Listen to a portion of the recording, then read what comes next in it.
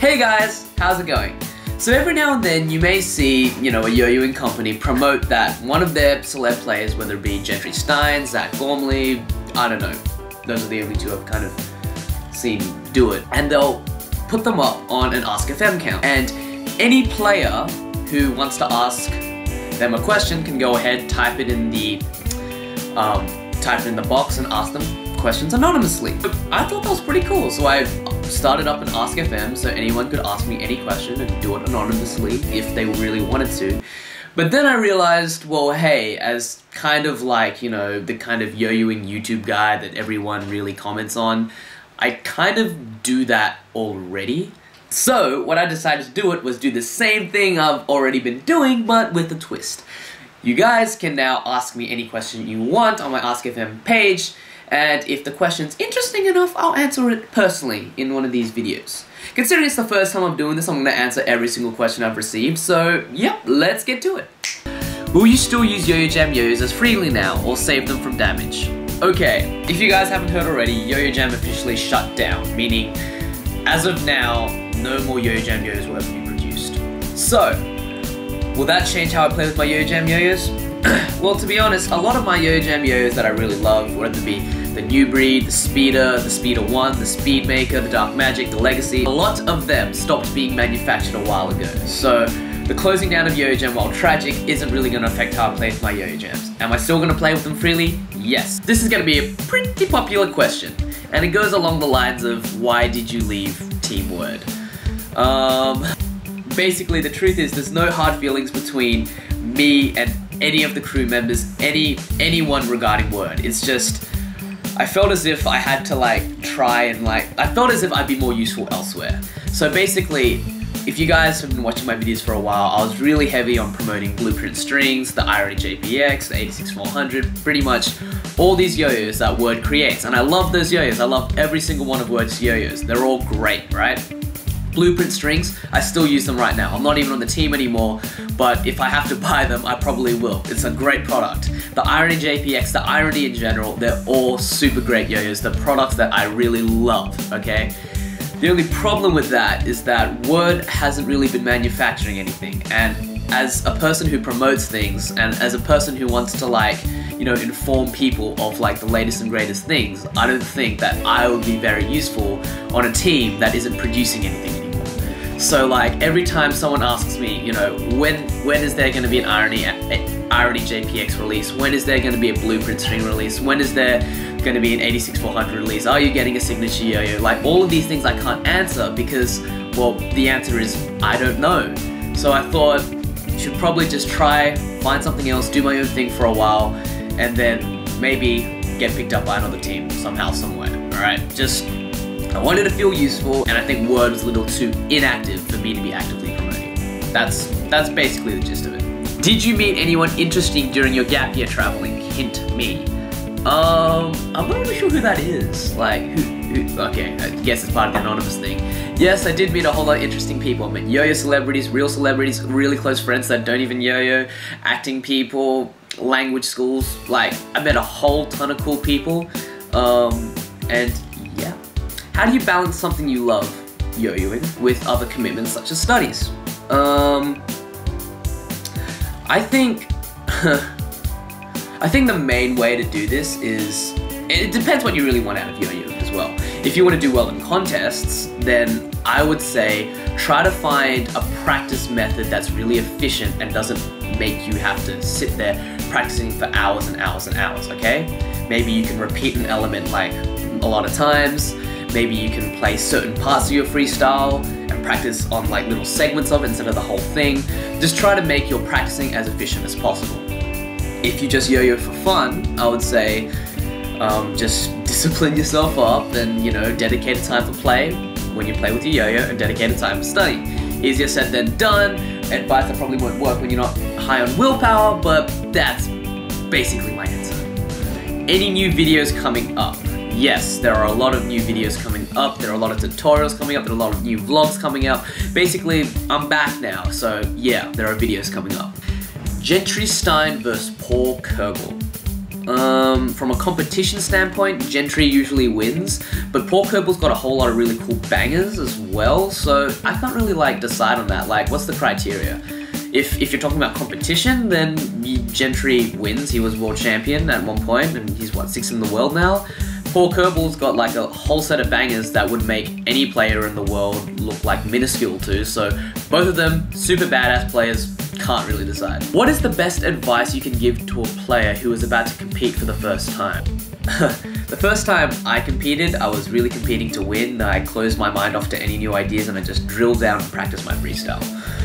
In retrospect, I should have socialized a lot more and I should have been open to players who were obviously better than me and learning from them right? So, yes, you should try to do well in your very first contest, but be open minded.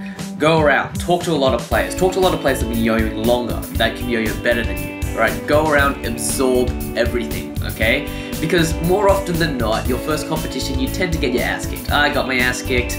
Some, some people are so talented that they win the first contest they enter, but that's not me, and that's not most people, I guess. So, I would say, go there, you know, practice, do well, but I would really use that experience to really soak up a lot of knowledge, a lot of experience, a lot of new tricks, a better player for next time. If I make it to Cleveland, will I see you at Worlds 16? Julian Qi Yijian. I, at this point, I don't really know. I've been traveling a lot and it's time for me to like knuckle down and start studying, but um, I really want to go. So at this point, I'm going to say yes but don't hold me to it. Would you rather be sponsored by a brand that makes premium yo-yos, Yo-Yo Recreation, so you can you get the expensive throws for free, or be sponsored by a brand that mass produces decent yo-yos for a cheaper price, C3 or Yo-Yo Factory, so you can promote the brand easily without scaring others about the price. Um, if I were to get on a new team, I'd have to really love the yo-yos they produce, and if it's a really premium high-end yo-yo that I really like, then it would have to be you know, a, a higher premium brand. That being said, there's a lot of other yo-yos that are lower price that are still really good as well. It, it basically how much the yo-yos cost wouldn't be a main factor in my decision if that's what you're asking. What would matter is is the company active and are they making yo-yos and do I like the yo-yos? That would probably be the main criteria, not how expensive the yo-yos are. That doesn't really affect me, that's more the company's, I don't know, profit analysis kind of thing, or whatever they decide to sell their yo-yos at. Okay, this is a question I get asked a lot. Do you recommend the Shutter or the Horizon? And the fact of the matter is, it depends. If you talk to one person, they say Horizon all the way. If you talk to another person, they'll say Shutter all the way. Personally, what do I prefer? I prefer the Shutter. There's a lot of people that prefer the Horizon, okay? In fact, there's a whole team. There's like a, a, a, a, a there's a Yo-Yo Factory team Horizon. Basically, I would say if you're more of an all-rounded kind of tech kind of person, go for the Shutter. If you're looking for like the extreme kind of tricks, go for the Horizon. I've been to a couple of competitions and I could hit a clean routine at home, but when I'm on stage, I screw everything up. How can I improve? First of all, I would say practice your routine a lot and practice it in areas that make you feel nervous. Okay? So I would say get in front of a camera, try and practice your routine there, um, practice it in front of your friends, and such and such. The next thing, and this was advice I was actually given by Josh Yee a really long time ago when I was going around and I didn't understand why I couldn't hit a clean routine. Basically, there's a mindset that you can get yourself into that really psychs you out before a competition. So there's a lot of times we like, I really want to do well, I really want to do well, I really want to do well, and you're thinking all about like just doing well. You're practicing like like a ridiculous amount, and you're putting so much pressure on yourself that when you step up, you blow your two minute, two minutes or three minutes, and you you screw up your freestyle entirely. Okay, the advice he gave me was relax, relax a little. Okay, at the end of the day, yo-yoing is a game. Okay, the prize money, the bragging rights all gonna fade in a couple of years, okay? So yes, it's cool to win, but it's not gonna be like the end of the world if you don't. Relax a little bit, okay? Stop being so focused on doing well at all costs, and that mindset will actually allow you to perform better than if you're stressed out and just like, I wanna win, or if I don't gonna win, I'm gonna die. So basically, what I would say is practice very hard, Practice in places that make you feel nervous, and when the day comes around, relax. Um, all the questions regarding the virtual throwdown. Okay, there was a bit of a mishap between me and Wayne when I was in Vietnam. I forgot to send him the scores. He sent me the scores, but I couldn't upload them because the Wi-Fi connection was shaky, and I couldn't post it onto Instagram because the image was too small. Basically, I'm going to get on that straight away. Um, no dates yet, but I will be back, okay? The virtual throwdowns are not over, they're still up and running. Get ready. New video on that soon. How do you get to yo-yo when you have a tight schedule and how many hours do you play yo-yo? Again, this was a very similar question to the one before. Make sure your practice method is efficient as possible. How long do I play yo-yos? Honestly, I don't know. When I'm practicing for a competition, I'll probably run through the freestyle again and again for like two hours maybe. But normally, I've always got a yo-yo in my hand. I'm always playing around doing with it, kind of like doodling if I was like an artist or something. I'm always kind of playing around with it, doing just tricks and stuff. So basically, make efficient practice method and how many hours do I play yo-yos when I practice for competition? About two hours of solid practice. Hey Brandon, could you make a video on explaining to newer players how not everything is based on scoring high or winning competitions? I think a lot of new players with potential need to understand this more as they seem to be enjoying it less than others. Thanks. Nikki Yip. Um, basically, yo-yoing is meant to be fun, okay? That's why you start doing it, right? And after a while, you start to get a little bit better at it and you think, hey, it would be pretty fun to win a contest, right? So you start going and practicing and dedicating a lot of dedic dedicating a lot of time and effort to winning that competition. And when you finally win, that's pretty fun as well. All of it is fun, fun, fun. What you should be worried about is when yo-yoing itself isn't fun anymore and the only fun you're trying to get is the win from that competition because then 90% or 95%, no, probably 99% of your yo-yoing is agony and then that 1%, that 3 minutes while you're on the freestyle and you can potentially win is the only amount of fun you get. So it's not really the best use of your time. Anyway, personally, I'm still in the competitive mindset. I'm not really yo-yoing for fun anymore. Everything I do is kind of catered towards the competitive side of yo-yoing. But if I ever got to a point where yo-yoing itself wasn't fun anymore, I'd probably stop altogether. So, my opinion basically is yo-yo for fun and be careful when you become too competitive and it's not fun anymore because, hey, what's the point of yo-yoing if it's not fun? This question must go into your vid. Can you do a backflip like Shu Takada? No. I can kind of do a kip up like Shu Takada, but I can't do it with the yo-yo swinging underneath me, so yeah, still not as cool as Shu Takada. What message would you like to deliver to aspiring throwers in India where the yo-yoing scene is stagnant in terms of promotion as well as competition? Karan Placido Bajaj. Did I? I'm sorry if I didn't pronounce that correctly. Yeah. Basically, I'm not particularly sure what you can do from this point.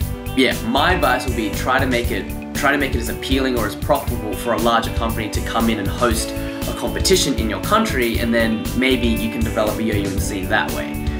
Other than that, as a player and as a yo-yoer, I'm not really sure what you can do. You can self-promote yourself and try and get a little bit of internet credit, but at the end of the day, if you want to compete, the best way is to try and get something established, whether it be establishing it yourself or making it appealing for another company to come in to India and establish it there. Can you do another video for Gyralution? Because the previous pin got taken down. Tanjinda. Um, I might do that. I might. Um, yeah, Gyralutions isn't as cool as it was like what four or five years ago when I first posted it up. So yeah, I'll, I'll think about it. I'm not really sure yet. Yo-yo in particular, do you recommend the most for starter yo-yo players? Basically, whenever anyone asks for like beginner yo-yos, I directly point them to Yo-Yo Factory. And I did this even when I was on Werrd because right now Yo-Yo Factory has like the most affordable and the most competitive yo-yos on the market.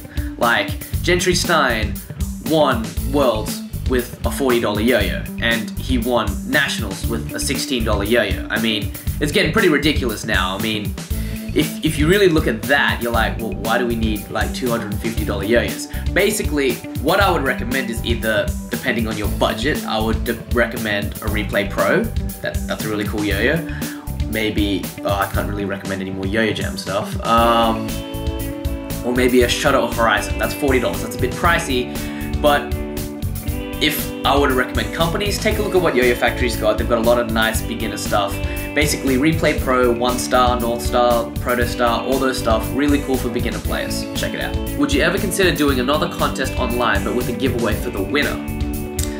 Um, the whole idea behind the virtual throwdown is that there's, you know, no prizes, it's basically just feedback. Would I consider doing it? Maybe if, you know, I got a sponsorship or something, but if I'm afraid that if I do that, it'll change what the virtual throwdown's all about and people will start expecting prizes like month after month and that's not really what I'm going for. So I consider it but still need a couple of kinks to work out. Why you started yo-yoing? I am your big fan, Mateus. Mateus? Mateus? Did I say that right? Basically, I've always been interested in yo-yos, but the turning point was when my cousin had a yo-yo on his desk. I was playing with it up and down, and I thought, this is really cool. Went up online, searched up what yo-yo, real yo-yos could do. After that, I was hooked. And what, seven years later, here I am, still yo-yoing. What do you think about sub-styles such as Mobius or Double Dragon? I think they're really cool, and I also think that with yo-yoing been around for, you know, the time that it has, it's very interesting to see what people can do within similar realms of 1A. So there was a there was a time when I thought about getting into Mobius, but I got a bit lazy. I never really tried Double Dragons, but I think both of them are really cool and really innovative. And depending on how much those trends catch on, they might be more relevant in years to come. But at the moment, I think they're pretty cool. Since you left Werrd, do you still use the Irony JPX? Yes, I still use the Irony JPX. It's great yo-yo. Can you do a giveaway? Um, I don't really have any like new yo-yos to do a giveaway with. I mean, when I did it with Werrd, there were like new yo-yos in their package. I mean, I've got a lot of yo-yos that I've used, but I don't really think that'd be good giveaway material. So, working on it. Or, I know you're no longer involved with Werrd, but do you know if any Blueprint strings or JPXs are going to be available anytime soon? Sorry, I've got no idea. Even when I was on Werrd, I have no idea. So, yeah, answer is no idea. Can you make a tutorial on how to tie kitty string? Thanks. Fun fact, kitty string is tied the same way as any other string in the world, but because you, want, you guys want a tutorial. Okay, basically how you do it is, this is, this is, okay, I know this is a blueprint string, but it'll work on a kitty string as well. Tie it up like that, twist it around, knot it up there, pull tight, like so. And now that your string is like that, get something, maybe a factory bearing tool, scissors, I'm using pliers, cut. And that is how you cut any string, including kitty. Japanese players are known for their speed, Americans are known for the technicality of their tricks, Mexicans are known for their sideways tricks. So what do you think Australian players are known for? Um, chugging beers in freestyles, maybe? Who ate my cheats? Hmm, let's think. I'm gonna go with Hiroyuki Suzuki. Why? Because Hiroyuki Suzuki's nickname is Mickey, and Mickey, we all know, is a mouse. And who eats cheese? Mouses. So Hiroyuki Suzuki ate your cheese.